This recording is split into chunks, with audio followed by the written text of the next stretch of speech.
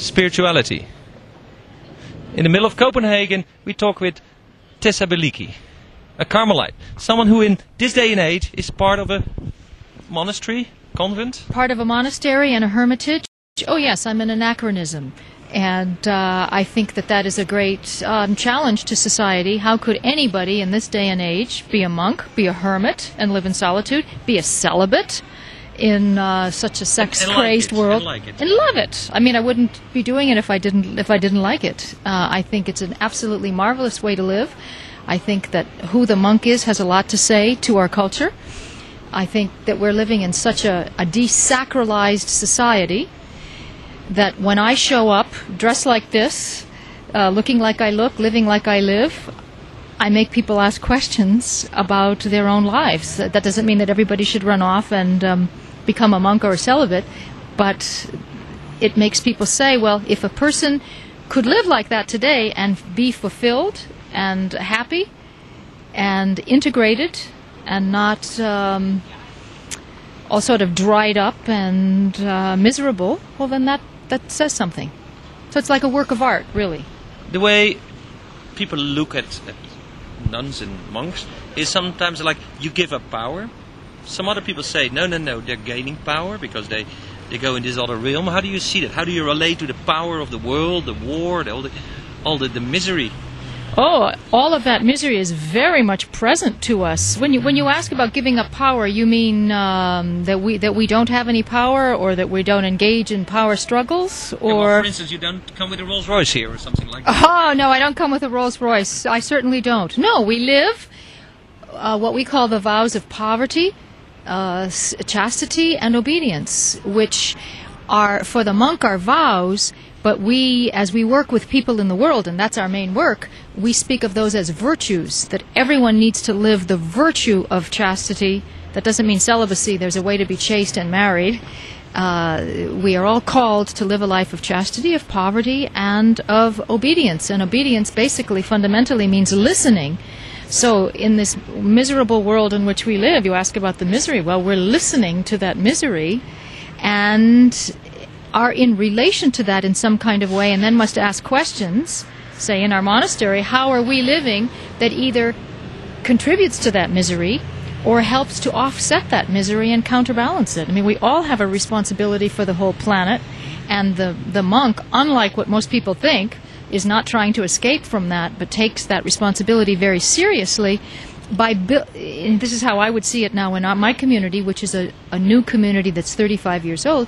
We are trying to build an, uh, uh, a sanctuary of sanity in a very insane world, not to escape from it, but to model for people what that might look like. It's just a strange feeling. At the same time, a monastery is separated from the world. On the other hand, it invites people who are sincerely seeking that sanctuary to come and join, even for a short time, to experience with you what that means. Absolutely. It's, it's such a shifting walls, really. Yes, well, what I like to say is that we are a monastery without walls. The old model of the monastery was as a fortress, was as an was as an enclave, separated from the world, uh, almost uh, to be protected from the world. And the, we are a monastery without walls in the sense that there, it's permeable boundaries. So there's a sanctuary where you come in, and we go out uh, into the world. Uh, and the, but the reason that there is some kind of healthy separation is that everyone needs that kind of silence and solitude. So we're providing a space for people who live such well, who live such fragmented lives that they don't experience enough of their inner wholeness, and also. Um, uh, a silent place so they can r- r- really hear the deeper things. So the, it It sounds like a place what in the 60s we called psychotherapy, a place where you go to find yourself. Well, you do find yourself, but I, I it's not.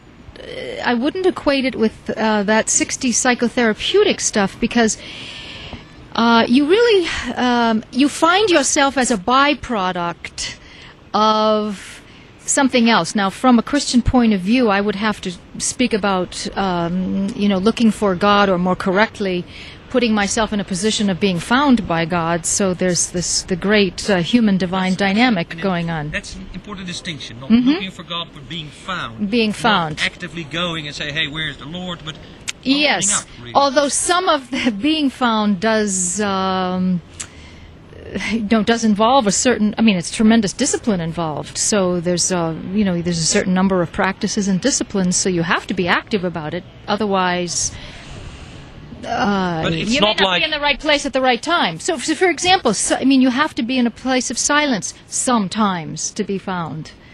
At other times, you may be in a place of terrible, uh, terribly great chaos and uh, uh, agony and suffering, and you're found by God. So there's, you know, there's nothing uh, I have a little- simple and easy. poem about it. I have three children, and I saw, said in the poem once, "God gave me three watchdogs, and yes. without them, I wouldn't have heard him knock." Yes. Oh, it's beautiful. Absolutely. Absolutely. You know, there's a tendency to think. Um, God well, that oh. God is God is everywhere, and uh, we find Him. He finds us in absolutely everything. What we really need is a return to um, uh, a reawakening of what was once in um, the history of Christianity called Christian humanism, which is really what my community represents. It seems that there are, at one hand, we think the church is dying and it doesn't work anymore. On the other hand, you see people like you or Brother David Steindl-Rast Yes. who goes around the world and revives this Oh, yes. tradition. Yes. Oh, there are elements of the institution that are dying away as they should. But the heart and soul of the tradition, which is spirituality, which is mysticism, is very much alive. In fact, I get very frustrated at conferences like this, or even in a lot of the reading that I do, because everybody looks to Buddhism. And I, I read these things about how Buddhism is the answer, and I, what I read about Buddhism, I say, why do they not know that this is in Christianity? Because it is Well, also in Christianity. It feels like you're really saying it's, it's not much different. It's my tradition and I like it. Oh, it's my tradition and I like it. Yes, I will say that. I wouldn't I would not say that everyone is the same by any means. There are vast differences and there should be. That's part of what is the excitement about life. Um, there's man and woman, there's light and dark, there's east and west, there's Christian and Buddhist. There's so the variety is is uh, wonderful, and we don't want to reduce one reality to another. So Christianity and Buddhism are vastly different.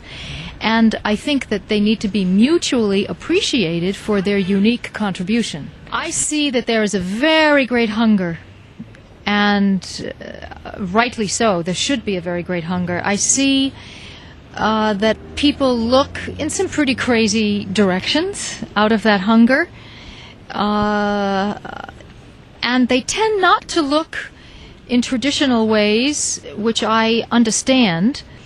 And I what's, think what's the fundamental difference between talking to angels or meeting angels or talking to UFOs?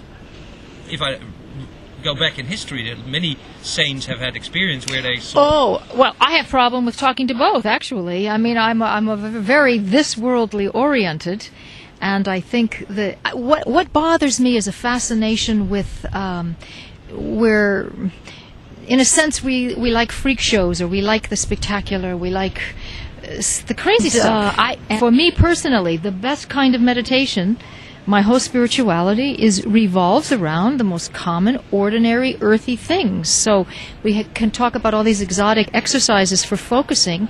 If I jump in the lake in front of my hermitage in Nova Scotia and I go for a long swim, that is a tremendous meditation. I mean, I have to be there now Otherwise, you know, otherwise I'm going to sink. So the most ordinary things. Uh, it's the spirituality of everyday life that is of great interest to me. But what I was aiming at is that I think people, um, for all kinds of reasons, I understand why people completely ignore the um, traditional spiritual disciplines around the world. Uh, and as uh, Professor Huston Smith says, there's so much wisdom there.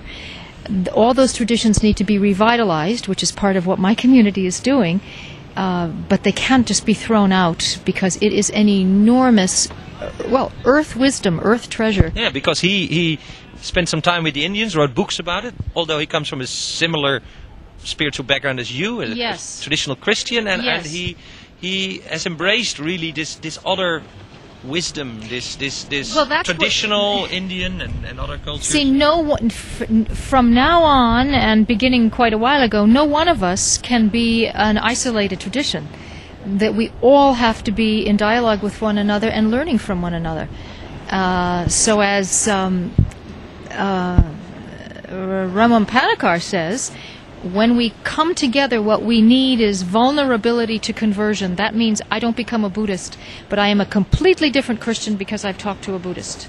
And when a Buddhist talks to me, that Buddhist must be so vulnerable to conversion that he or she is a completely different kind of Buddhist for having met a Christian. And that and that's the kind of meeting that we need. So that we are renewing one another, nothing can ever be the same again.